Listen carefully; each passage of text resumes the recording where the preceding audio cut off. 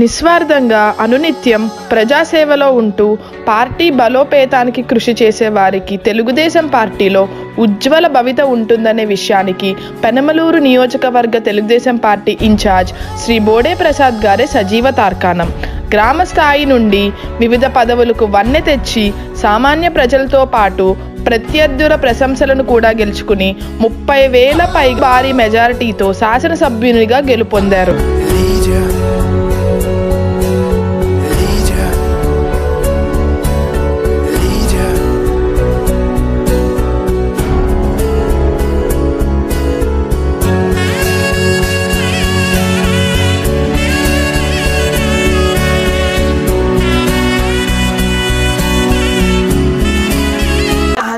రాష్ట్రం పెనమలూరు నియోజకవర్గం ex MLA ఇవాళ బోడే ప్రసాద్ గారు మనతో ఉన్నారు. సో ఆయన గురించి ఆయన రాజకీయ జీవితం గురించి అన్నిటి గురించి తెలుసుకోవడమే ఇవాళ మీకు తెలుసా విత్ పల్లవి ఎలమెంట్స్లీ నమస్తే బోడే ప్రసాద్ గారు ఎలా ఉన్నారు? నమస్తే అమ్మా.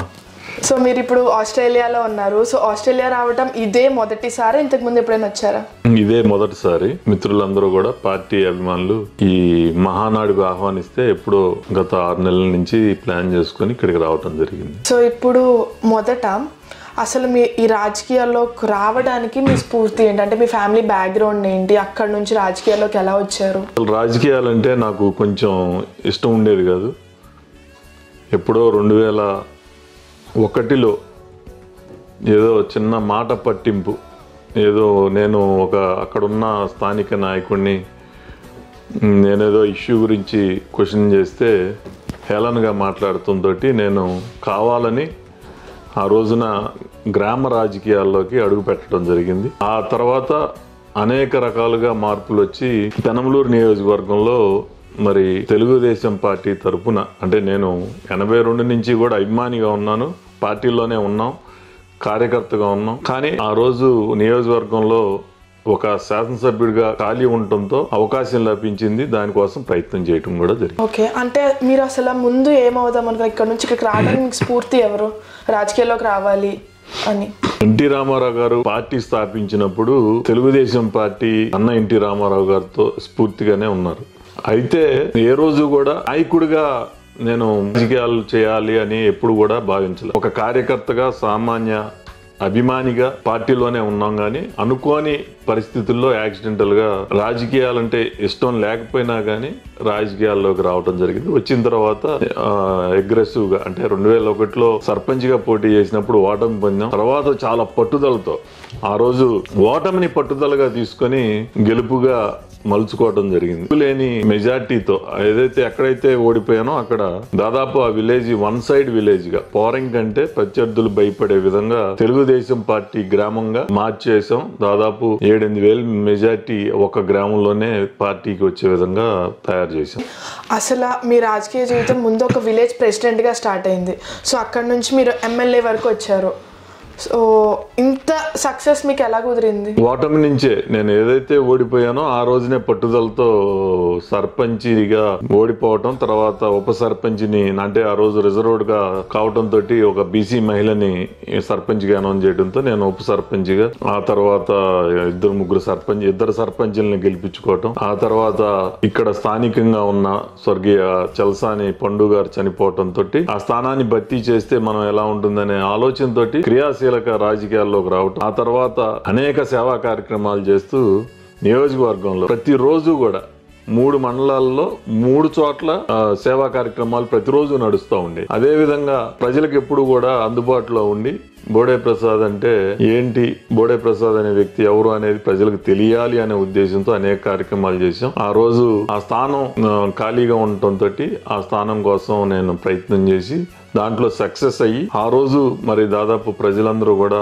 అత్యధిక మెజార్టీతో నన్ను గెలిపించుకోవడం జరిగింది. ఆ తర్వాత మళ్ళీ విజయవంతంగా ఐదు సంవత్సరాలు అనేక సేవా కార్యక్రమాలు అభివృద్ధి కార్యక్రమాలు అలాగే ప్రభుత్వం నుంచి వచ్చే వెల్ఫేర్ కానీ మొత్తం కూడా చాలా సక్సెస్ఫుల్ గానే చేశానని నేను భావిస్తా ఉన్నా. కానీ అనుకోని పరిస్థితుల్లో కొన్ని అంటే అతి నమ్మకం మీద ఓడిపోవటానికి కారణం అతి నమ్మకం ప్లస్ రాజకీయ నిర్ణయాలు తీసుకోవటంలో మ్, తప్పటడుగు వేయటం వలన ఓడిపోవడం జరిగిందే తప్పితే నా ప్రత్యర్థి బలం వలనో లేకపోతే జగన్మోహన్ రెడ్డి వలనో అక్కడ నేను ఓడిపోలేదు ఆ అభ్యర్థి గెలవలేదు. సో ఈ ప్రయాణంలో మీరు ఎన్నో ఒడిదుడుకులను చూసుంటారు. అందులో బాగా ఇది చాలా కష్టం అనిపించింది. దీని నుంచి నేను ఇలా బయటకు వచ్చానని మీకు అనిపించిన సిచ్యుయేషన్ ఏంటి?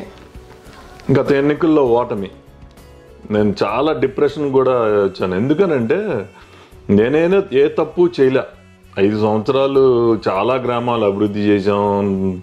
నిత్యం కార్యకర్తలకి ప్రజలకు అందుబాటులో ఉన్నాం. మరి చాలా అధికారంలో ఉండి కూడా అనేక సేవా కార్యక్రమాలు కానీ చాలా డబ్బులు కానీ అందరికీ ఖర్చు పెడతాం కానీ జరిగింది. మరి ఏ తప్పు చేయనప్పుడు ఓటమి చాలా బాధించింది. ఆ తర్వాత రోజే ఏదైతే ఓటమి పొందిన తర్వాత రోజే ప్రజలందరికీ కూడా మరి మీ మీద నా మీద ఏదైనా కోపం ఉంటే మనసులో నుంచి తొలగించుకోండి. మళ్ళీ నేను మీకు అందరికీ అందుబాటులో ఉంటాను అని చెప్పి ఆ రోజు ప్రజలందరికీ తెలియజేయటం జరిగింది. అలాగే ఈ మూడు సంవత్సరాల్లో కూడా నిత్యం ప్రజలతో ఉండటం మరి నేను నాకు తెలిసి నియోజకవర్గంలో అక్కడే స్థానికంగా నివాసం ఉంటూ మరి ప్రతిరోజు కూడా పార్టీ కోసం పనిచేస్తూ ఈ రోజుకి కూడా మరి మూడు సంవత్సరాలు పూర్తి చేసుకున్న ఈ రోజుకి కూడా ఓటమి పొందిన ప్రజల మధ్యలోనే ఉన్నాను. పార్టీ కోసమే పనిచేస్తూ ఉన్నాం.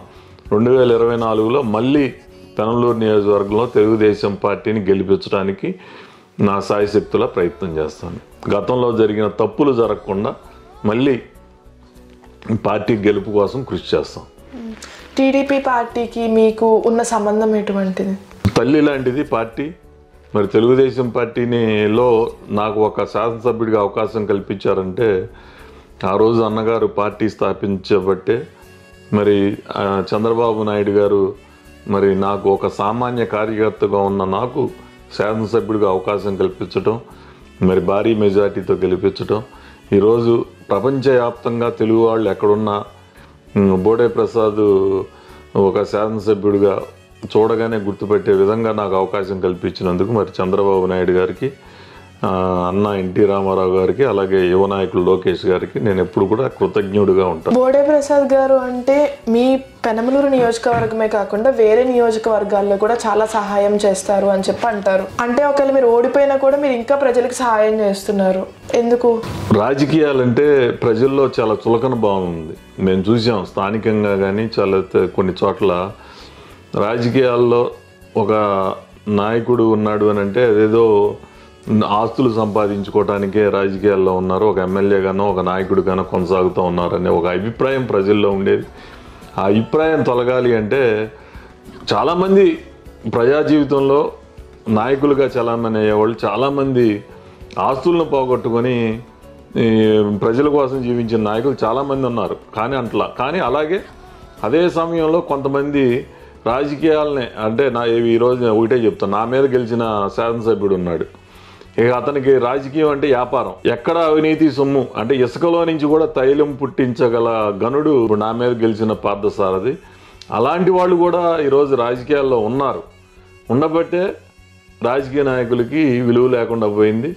నిజాయితీగా పనిచేసిన ఇవాళ రాజకీయంగా ప్రత్యర్థులు ఉండి మన మీద ఆరోపణలు చేయొచ్చు కానీ మనమేంటో తెలిసిన వాళ్ళందరూ మాత్రం ఒక స్ఫూర్తిగా నిలవాలి. భవిష్యత్తులో బోడే ప్రసాద్ అంటే మనం గతంలో అంటే పెద్ద పెద్ద శాసనసభ్యులు నాయకులు ఉన్నారు కానీ గౌతు లచ్చన్న గారు ఉచ్చలపల్లి సుందరయ్య గారు ఎన్టీ రామారావు గారు ఇలాంటి మహానాయకులందరూ కూడా ఆంధ్రప్రదేశ్ రాష్ట్రంలో శాసనసభ్యులుగా కొనసాగుతూ ఉన్నారు. వాళ్ళంత కాకపోయినా వాళ్ళతో వాళ్ళ బాటలో మనం నడిచి ఒక స్ఫూర్తిగా రాజకీయాల్లో రాజకీయాలంటే సేవ చేయటానికే అని చెప్పి ఒక మంచి పేరు సేవాలని ఉద్దేశంతో సేవా కార్యక్రమాలు చేస్తూ ఉంటే నా దగ్గర ఉన్న వరకు ప్రజ పేదవాళ్ళకి సహాయం చేస్తూ ఉంటాం. లేకపోతే లేదమ్మా మీకేం కావాలో చెప్పండి ఆఫీస్లో పని అయితే చేసి పెడతాం అని చెప్పేసి చెప్తాం. అలా అలా ప్రజలకు అందుబాటులో ఉండబట్టే చుట్టుపక్కల ఉన్న నియోజకవర్గాల్లో కూడా కొంచెం మంచి పేరు ఉంది దానికి నేను ఎప్పుడు కూడా ప్రజలందరికీ రుణపడి ఉంటాను. సో మీరు ఆ రూలింగ్లో ఉన్నప్పుడు లైక్ మీరు గెలిచినప్పుడు నాకు తెలిసినంత వరకు బోడే ప్రసాద్ గారు జనాలకి చాలా సహాయాలు చేశారు. లైక్ ఫ్రీ అంబులెన్స్ సర్వీస్ కానీ వాళ్ళకి బీపీ చెకప్లు కానీ ఇలాంటివి చేయడం కానీ ఇట్లా మీరు ఇంకా ఏమేమి చేశారు ప్రజల కోసం? దాదాపు పన్నెండు సంవత్సరాలు ఒక డాక్టర్ గారిని పెట్టి ఉచితంగా మందులు ఎంతమంది రోగులు వచ్చినా నెలకి సరిపడా మందులు ఇచ్చి షుగర్ టెస్ట్ బీపీ చూసి లేకపోతే వేరే చిన్న చిన్న డిసీజులు ఏమైనా ఉన్నా కానీ వాళ్ళందరికీ మందులు ఇవ్వటం జరిగింది. దాదాపు నెలకు ఒక లక్ష రూపాయల దాకా ఖర్చు పెడతాం జరిగింది. దాదాపు పన్నెండు సంవత్సరాలు. మొన్న ఓటమి తర్వాతే డాక్టర్ అందుబాటులో లేకపోవడంతో అది తీ తీసివేయటం జరిగింది. అలాగే లాస్ట్ సెవెన్ ఎయిట్ ఇయర్స్ ఒక ప్రొక్లైనర్ ఒక అందుబాటులో ఉంచి మరి రైతులకు కానీ విలేజ్లో ఏ చిన్న పని ఉన్నా దాన్ని సేవా కార్యక్రమాలకి పిల్లలకి పుస్తకాలు నోట్ బుక్స్ ఇవ్వటం కానీ ప్రతి సంవత్సరం. అలాగే టైలరింగ్ మిషన్స్. దాదాపుగా నా నియోజకవర్గంలో ఏడు వేలు ఎనిమిది వేలు కుట్టు మిషన్లు వారి భాగస్వామ్యంతో. అంటే వాళ్ళ సగం పే చేస్తే మనం సగం చేసి దాదాపు ఒక కోటిన్నర నుంచి రెండు కోట్ల రూపాయల దాకా వాళ్ళకి ఖర్చు పెడతాం జరిగింది. ఎందుకు అని అంటే ఒక మహిళ ఒక వస్తువు ఇస్తే దాని ద్వారా వాళ్ళు జీవనోపాధి కలగాలనే ఉద్దేశంతో అలా చాలా రకాలు చాలా ఎన్నో సేవా కార్యక్రమాలు చేసాం ఈ- విధంగా మరి నియోజకవర్గంలో ఒక గుర్తింపును కూడా తెచ్చుకోవటం జరిగింది. మీరు ఎలక్షన్స్లో ఓడిపోయారు. ఓటమి చెందిన మరుసటి రోజే ప్రజల దగ్గరికి వెళ్ళి వాళ్ళ ఇంటికి వెళ్ళి ఓటేసినందుకు థ్యాంక్ యూ అమ్మాయి. మీ ఇంకేం అవసరం ఉన్నా నేనున్నాను అని మీరు వెళ్ళి వాళ్ళకి చెప్పారు. ఒకవేళ మీరు ఆ నియోజకవర్గంలో గెలవకపోయినా. ఎందుకు ప్రజలంటే మీకు అంత ఇష్టం? సేవా దృక్పథం ఇదంతా. ఆ రోజు అలా బాధ వేసింది. ఎందుకనంటే అసలు ఏమీ తప్పు చేయకుండా ఓడిపోవడం అనేది ఒక డిప్రెషన్ లాంటిది అనమాట ఎందుకు ఓడిపోయాము? మనం ఏం తప్పు చేయలేదు కదా అని చెప్పి ఉదయమే ఆరు గంటలకే ప్రజల దగ్గరికి వెళ్ళి మీరు ఓటేసినందుకు ధన్యవాదాలు. ఓటైన వారికి కూడా థ్యాంక్స్ మీ అందరికీ అందుబాటులో ఉంటాను. గతంలో ఏదైనా పొరపాట్లు జరిగినట్టయితే మీ మనసులో నుంచి తీసేయండి అమ్మా క్షమించండి అమ్మా అని చెప్పేసి అందరికీ చెప్పడం జరిగింది. ఎందుకు అని అంటే తప్పు చేయలేదు కాబట్టి. నేను ఒకటే చెప్పాను ఆ రోజు కూడా. మీరు ఓటేయకపోతే మీరే బాధపడతారు తప్పితే నాకేమి ఇబ్బంది ఉండదు అని చెప్పి. అదే విధంగా మరి ఈ రోజున చాలా ఇబ్బందులు పడతా ఉన్నారు. ఈ రోజు ప్రజలందరూ కూడా చెప్తా ఉన్నారు.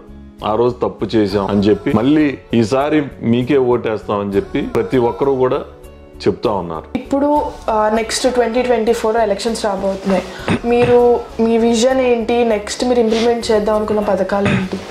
రెండు వేల ఇరవై నాలుగులో చంద్రబాబు నాయుడు గారు మళ్ళీ ముఖ్యమంత్రిగా అవ్వాలి. ఎందుకు అని అంటే వేరే విజన్ అంటూ వేరే ఏమి లేదు. ప్రజల్ని అడ్డం పెట్టుకొని ఇళ్ళ స్థలాల పేరుతోటి ప్రజాధనాన్ని దోపిడీ చేయటం అతనికి తెలిసిన విధానం. అది తప్పితే ఈ నియోజకవర్గానికి ఈ మూడు సంవత్సరాల్లో అతను ఆస్తులు పెంచుకోవడం తప్పితే ప్రజలకు వరగబెట్టింది ఏమీ లేదని ఈ సందర్భంగా తెలియజేస్తాం. ఇప్పుడున్న యువత రాజకీయాల్లోకి రావాలని చాలా మంది కోరుకుంటున్నారు. సో అలా యువత వస్తున్నారంటే వాళ్ళకి మీరు ఇచ్చే సజెషన్స్ ఏంటి? తప్పకుండా యువత రాజకీయాల్లోకి రావాలి. ఎందుకు అని అంటే మనం చూసాం మన రాష్ట్రంలో ఈరోజు వ్యవసాయం ఏ విధంగా యువత రావట్లేదో అదే విధంగా రాజకీయాల్లోకి కూడా యువత రావట్లే. తప్పకుండా యువత ఒక ఆదర్శంగా తీసుకొని ఎవరైతే ఈరోజు రాజకీయంగా స్ఫూర్తినిచ్చే పాలన అందించారో వాళ్ళందరినీ కూడా ఆదర్శంగా తీసుకొని రాజకీయాల్లోకి వచ్చి క్రియాశీలకంగా పాల్గొంటే బాగుంటుందనేది నా యొక్క సలహా. Thank you so much Bode Prasad గారు. అంటే మీరు ఇంత బిజీ షెడ్యూల్లో కూడా ఒక అరగంట కావాలంటే టైం కేటాయించారు. అండ్ అలానే వచ్చే ట్వంటీ ట్వంటీ ఫోర్ ఎలక్షన్స్లో మీరు తప్పకుండా గెలిచి గవర్నమెంట్ హోదాతో మళ్ళీ ఇక్కడ మా ఆస్ట్రేలియా వచ్చి మమ్మల్ని అందరినీ ఇలానే మంచి స్ఫూర్తి ఇవ్వాలని మేము కోరుకుంటున్నాము. Okay thank you thank you so much